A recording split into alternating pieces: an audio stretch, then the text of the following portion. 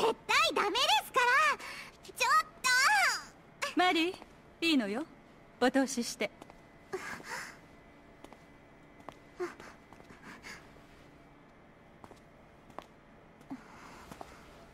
それで何の御用かしら。あのプラントはどうなった？